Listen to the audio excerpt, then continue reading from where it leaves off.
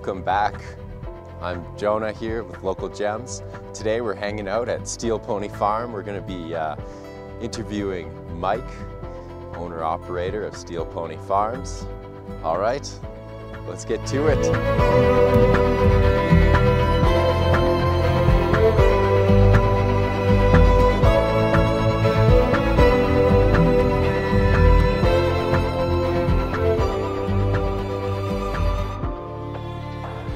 When did you take it and were you able to turn it into a business? When did that? Um, I think it's funny because now, so I, I'm like 11 years that I've been running this business, and a lot of, I mean, a, quite a number of like young people come and work for me wanting to start their own farm, Mm-hmm. and I always tell them, I'm like, don't start it yet. Wait, like, gather some resources, get some equity, learn more. Um, and I and I tell them that because I didn't really take that path. I Mm. was like, man, I want to start a farm, and I spent like a couple years on other farms, and then was just like, I'm doing it. right in, yeah. And I mean, I had really nothing. I had like a bike and a laptop and some shovels, and that was it.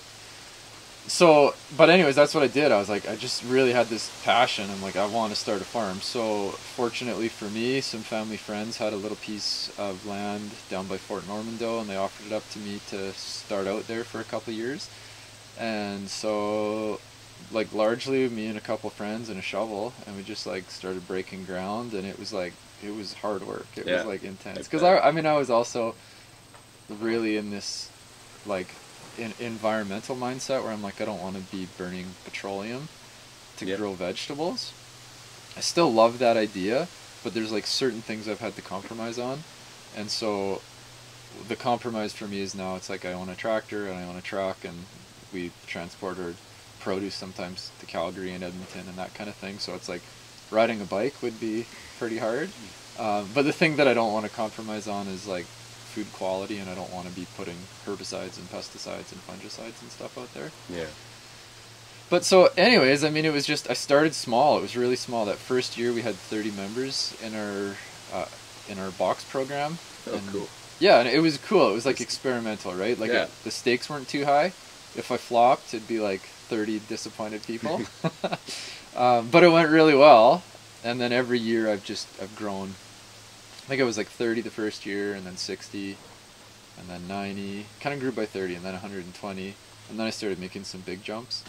Um, and yeah, just the whole time it's like been a big learning process, not just about farms, but about running a business and Mm. how to start managing more customers and more staff and more money and Yeah. yeah.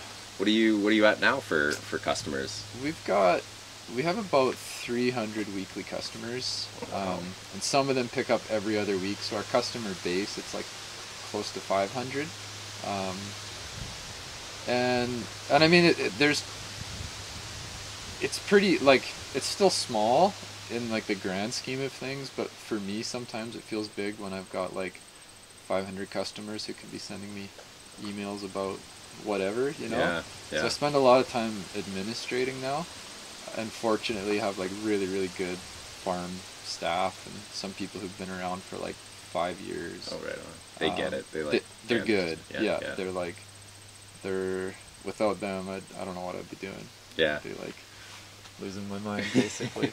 That's important to to find the people that uh, surround yourself with those people that want to, I guess, help you help you grow and grow yeah, for themselves, right? yeah.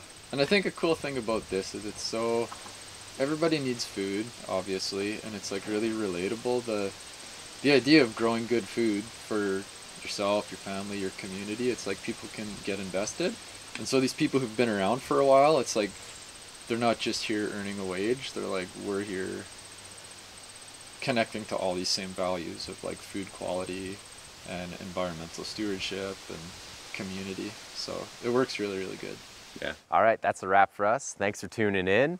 Uh, you like, subscribe, follow us on Instagram. Make sure you go give uh, Mike Steel Pony Farms there uh, follow as well. Uh, check out some of his merch. Check out some of our merch. Um, yeah, stay tuned for the next one. Hopefully, we can get some more uh, local producers on. You know, I'd like to see do some uh, local beef producers, some honey producers. hopefully we can get in touch with some of them. Stay tuned. Thanks for hanging out.